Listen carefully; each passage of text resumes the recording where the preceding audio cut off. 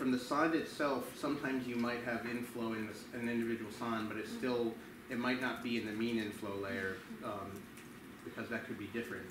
Um, but, uh, probably, I would say that most of the maximum wind speed sondes are, are probably within the mean inflow layer. Uh, so the, uh, the, those are, uh, those are, those seems to related to, uh, when the maximum vertical velocity appeared, uh, there is, uh, maximum wind speed very near, near the vertical, uh, maximum vertical velocity, uh, the place of maximum vertical velocity. You said, the vertical profile indicates. Oh, uh, yeah, for some of the sondes, yeah, not all of them, but some of them, there's a, Mhm. there's a, the maximum wind speed is near the maximum vertical velocity. Um, um, but yeah, there, there's a lot of variability among the sondes, yeah. Um, and for example, like, and, and there's an overlap in the data set. So some, um, a significant portion of the of the peak of these sondes with 90 meter per second winds also have 10 meter per second updraft, um, but not all of them. Um, and and these sondes with extreme updrafts, the ones that are maximized about two three kilometers they're not going to have 90 meter per second Oh. winds there Oh, because again like look, the scale of this of these two figures are different. This is the lowest 1500 meters. This is 5 kilometers so you, you yeah the, the heights of the updrafts are, are higher on average.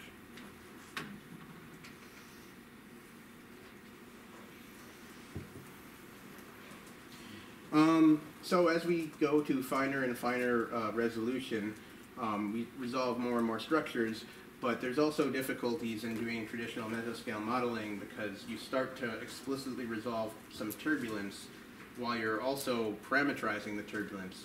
Um, because the PBL schemes are designed for an assumption that all turbulence needs to be parameterized. Um, so when you're so- resolving turbulence while parameterizing it, you can, um, it could be problematic. Um, this is often called the turbulent gray zone. Um, and just like a figure um, for a study that examined this, uh, this is from Green and Zhang, uh, looking at uh, simulations of uh, Hurricane Katrina, and this is just plots of 10 meter wind speed for three one kilometer and 333 meters.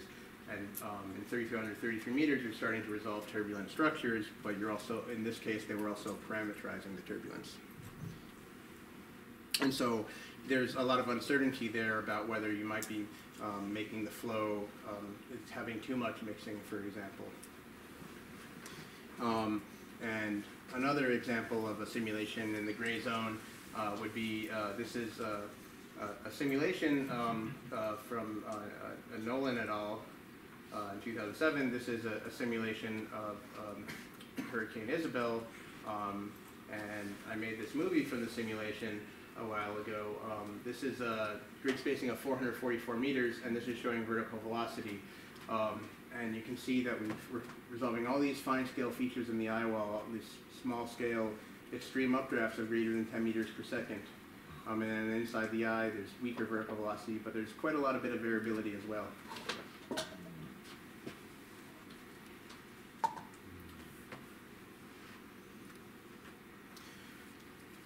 So the eye wall is very turbulent in the hurricane.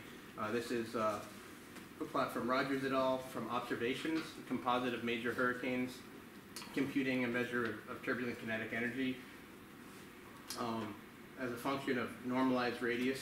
So one is the RMW, and then versus physical height from zero to 14 kilometers. And so outside of the RMW, um, the boundary layer is very turbulent, um, but above the boundary layer, there's not much turbulence.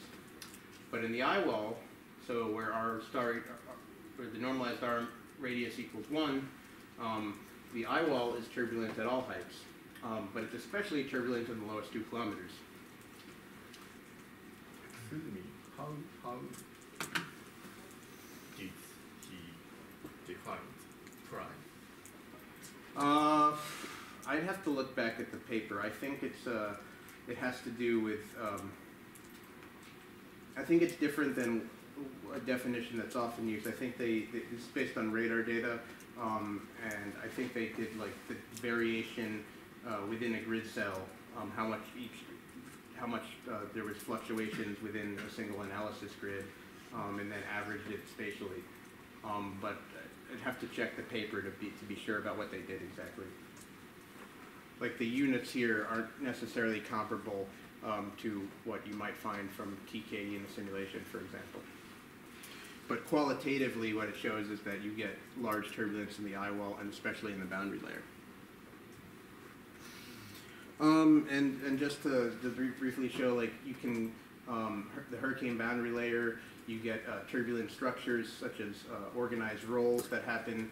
Um, this is a study from Solo et al. from radar data. This is the perturbation radial velocity at 300 meters height.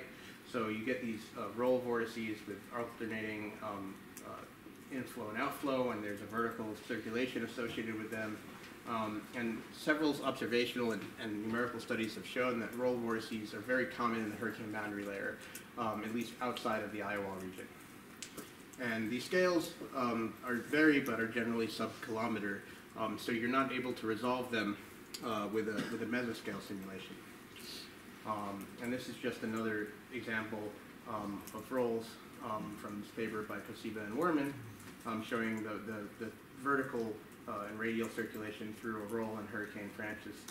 Um, and rolls tend to transport high momentum air upwards and low momentum air downwards.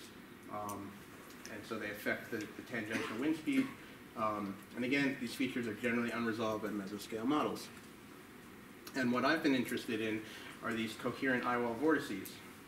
So the, the features that we think are responsible for creating these extreme wind gusts and the extreme updrafts. So this is uh, Aberson et al. study of Hurricane Isabel. Um, this is the radar reflectivity, a horizontal cross section. Um, and you can see lots of small scale features right on the edge of the eye wall. You get these uh, kind of fingers of reflectivity arcing into the eye. Um, and you can see this in simulations of, of very high resolution simulations as well. Um, and the plane flew into, they believe, this feature here, this little isolated uh, reflectivity region kind of on the edge of the eye. Um, and then on the bottom, this is the vertical radial cross section. So the plane uh, was flying um, just above this feature and then entered the eye wall. And they did an analysis of the wind speed and the vertical vorticity. Um, and they, they analyzed uh, from the radar analysis um, a very strong uh, vorticity feature here um, associated with a very strong gradient in the horizontal wind speed. So this is similar to what we think we're seeing with the drop dropsondes. So this, along with the Marks et al. study and, and other some other recent studies, suggest that we have small-scale, three-dimensional vortices that can form along the inner edge of the eye wall. And I think with the dropsondes, some of the time we're sampling these types of vortices, but it's really hard from the dropsondes to, to be sure what we're sampling because we're only getting just a single um, a trajectory. Um, so uh, the limitations of cloud permitting circulation simulations, so mesoscale simulations, like we typically perform at one to four kilometer grid spacing, are that important structures are unresolved. So these wall vortices are unresolved at these scales. And so we need to have finer resolution, um, grid spacing at least four to six times smaller than the scale of the feature. And the scale of these features, these vortices, we believe, is on the order of a kilometer or maybe 500 meters. And so to really resolve this, we need a grid spacing of less than 100 meters. And then we, um, the large eddies are largely mostly resolved, and we don't need to parameterize the boundary layer.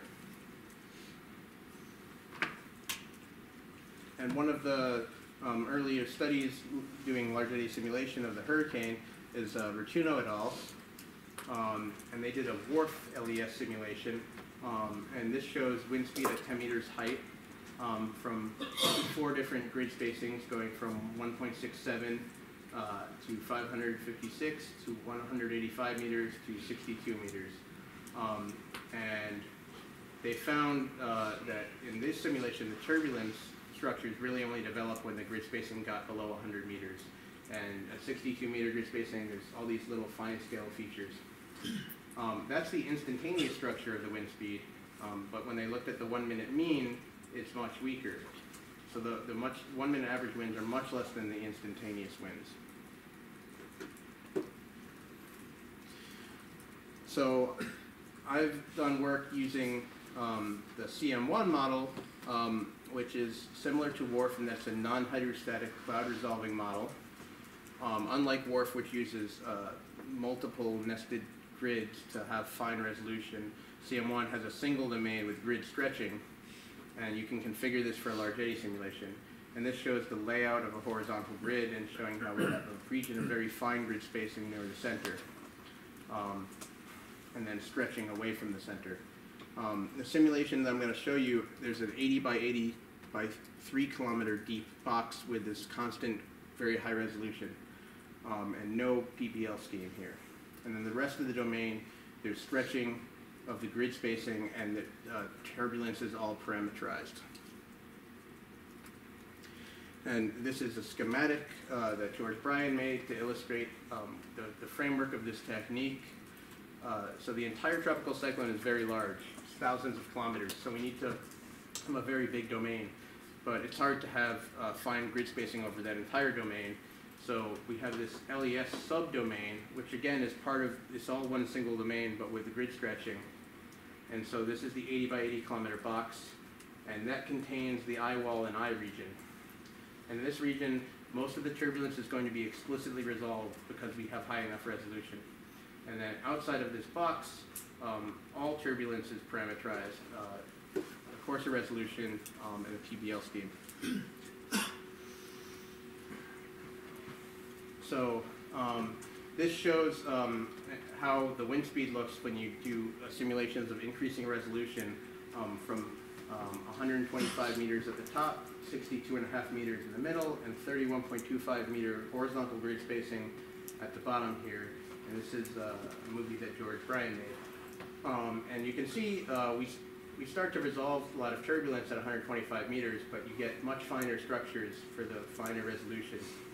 And you also get uh, stronger wind speeds.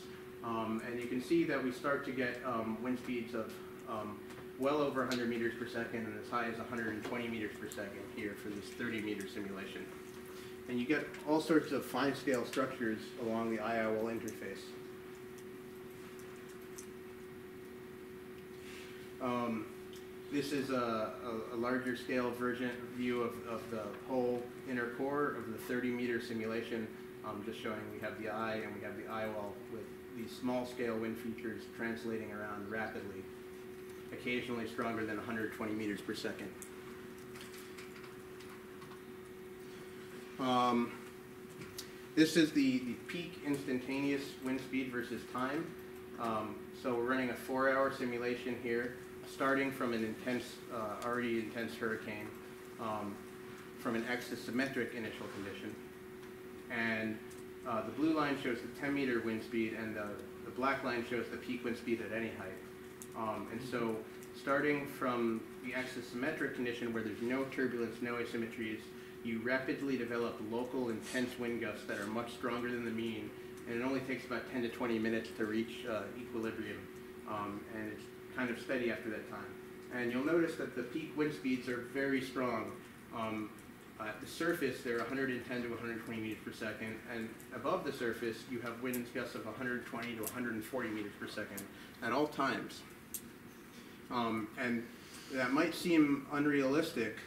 Um, these instantaneous wind gusts are extremely strong, but if we look at the, the mean wind, which, um, this blue line here is the one minute average wind, the peak of that one minute average as a function of time, it's much weaker, about 80 meters per second, which corresponds to a category 5 storm. Um, so the mean winds we know are realistic, and then it's just a question of whether are these gusts realistic or not.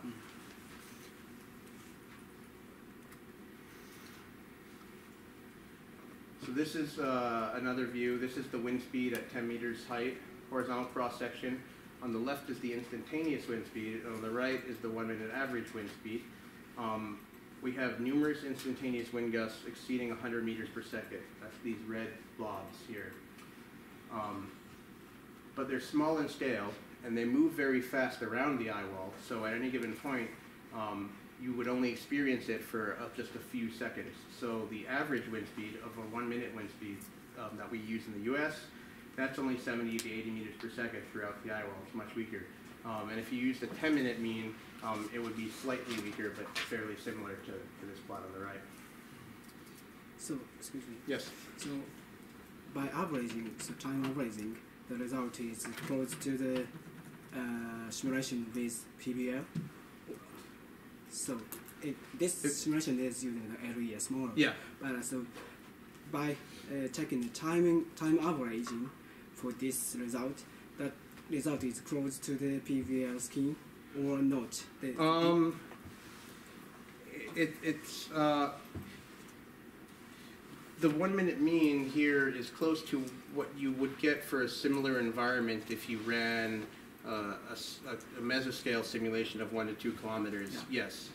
Um, we didn't. I didn't run, and George didn't run a, Yeah. a 30 meter simulation with a PBL scheme because that would probably might do something unrealistic.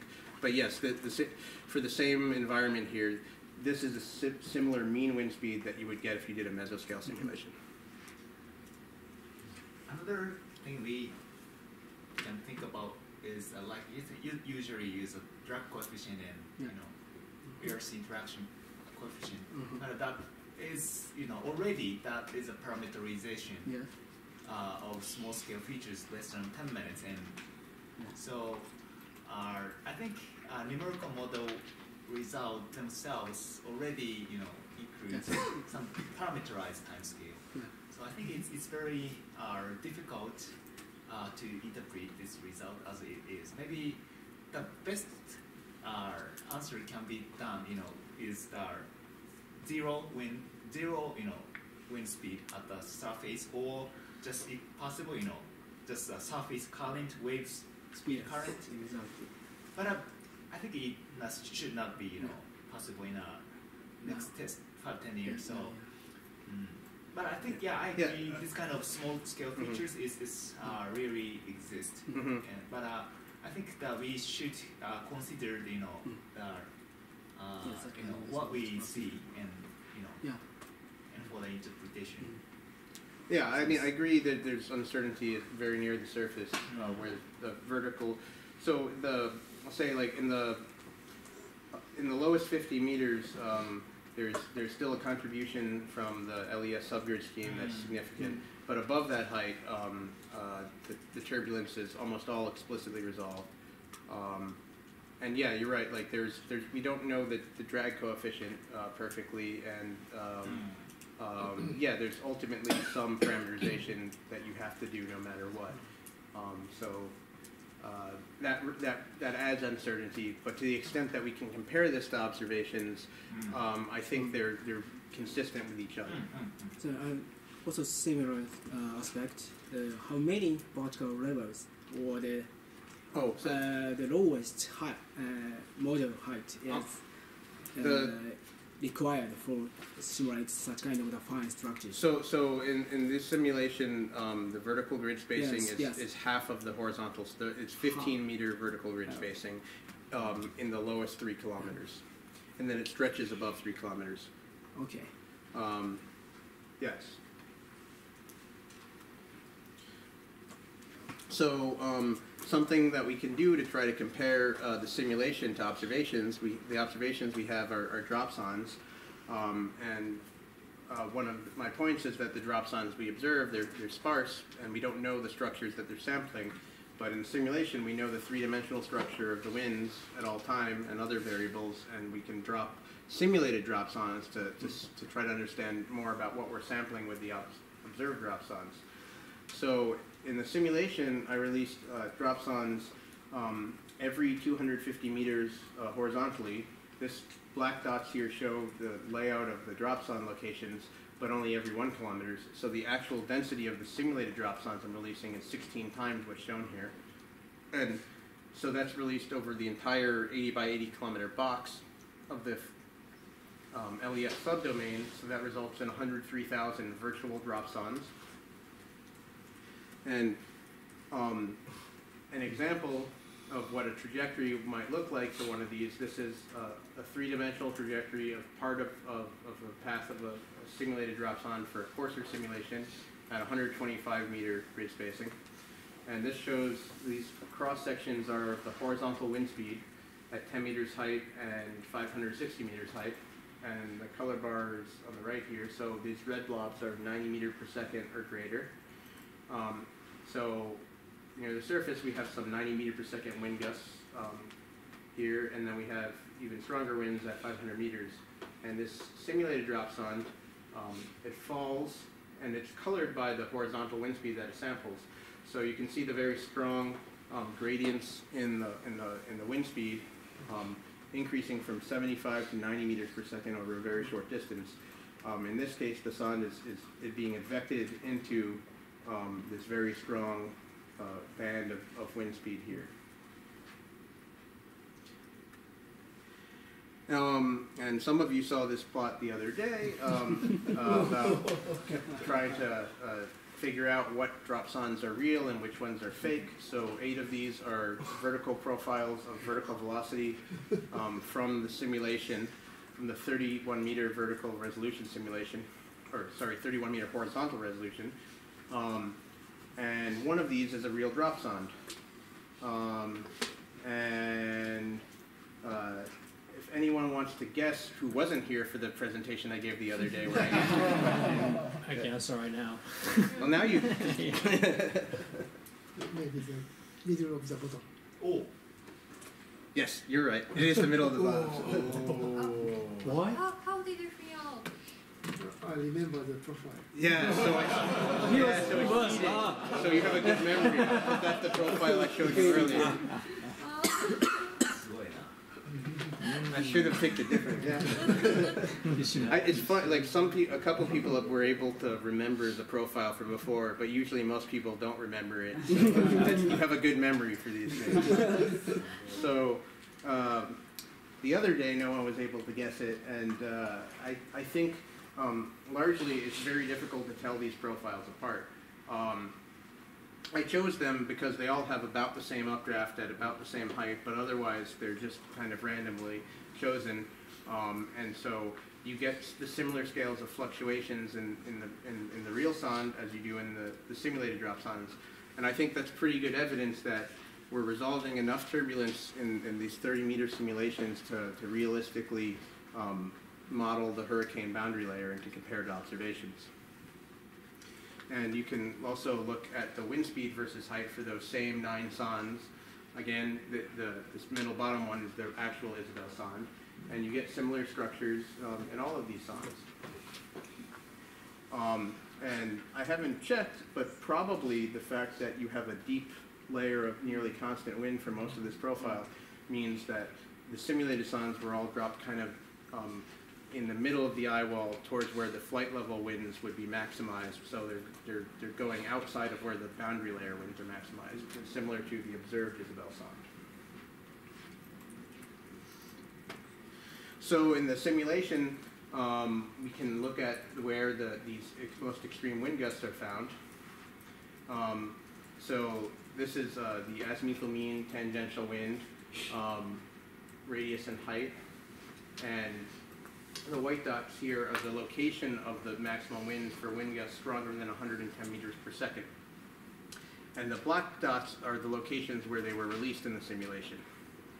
And so we can see that the strongest wind gusts here, they're all found near where the mean winds are strongest. Um, and they're found throughout like the lowest kilometer or so.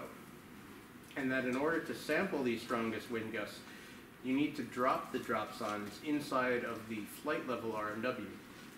Um, and this is known observationally, um, and this is why um, NOAA and the Air Force will intentionally release sondes not where they find the maximum winds at flight level, but a few kilometers inwards to try to sample the peak winds below.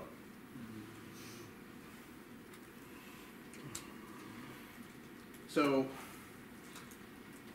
you can, in the simulation, you can try to look at how frequently you might expect to sample the most extreme winds. Um, and so this shows the fraction of sondes sampling extreme winds um, as a function of radial distance, so the radius where you drop them in the simulation. And the orange lines show the radius of maximum wind at effectively the flight level in the simulation, where we're dropping the sondes um, here. Um, and then this is the um, radius of maximum wind at the surface. So you can see the, the region where you can sample the strongest winds um, is, is four to eight kilometers inwards of the flight level RMW. and these different colored lines correspond to the frequency that you sample winds in excess of 90, 95, 100, 105, and 110 meters per second. And so for the 90 meter per second winds, which we somewhat frequently observe in the observation, in the, the dropsondes, um, in this simulation, you very frequently sample um, such winds uh, when you drop in this region. But as you increase the threshold, you rapidly decrease the probability that you're going to sample them. So for a greater than 110 meters per second, you only have this two kilometer wide zone where you have any chance of sampling it. And even so, it's just two or three percent. So even though I showed that the, there, you have wind gusts somewhere in the tropical cyclone in the simulation of 120, 130 meters per second at all times, it's nearly impossible to sample it uh, with dropsondes.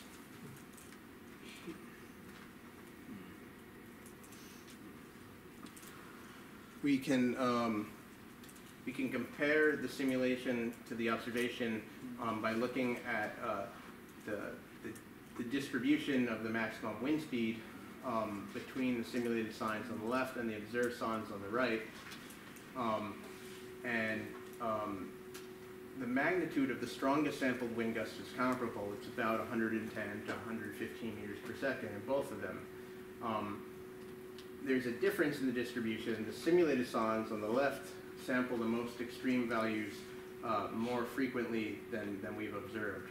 Uh, you can see they're more concentrated at the left tail of the distribution in the observations. Um, and, and there could be a number of reasons for this. There might be biases in the simulation, um, but I think the most likely reason is because the simulated tropical cyclone here is a, just a little bit stronger than the average tropical cyclone from the data set that we have. The dropsondes are all from very intense storms, but the, the intensity um, still um, is different. There, there are some storms that are category four, some are weak category five, some are strong category five. And so the simulated storm here is a strong category five. Um, so you would expect to get somewhat more intense gusts, and so the frequency distribution will get shifted over to the right. Um, so it's difficult to just compare this single simulation to observations that come from many different storms at different intensities. Um, so I think overall, qualitatively, this actually compares pretty well. We're getting the right order of magnitude um, for the strongest wind gusts that we sample in tropical cyclones, which in the simulation is, a, is weaker than the strongest winds we know are there. And so uh, we can speculate that it's that, that the wind, real strong gusts in tropical observed tropical cyclones might also be much stronger than we sample. So,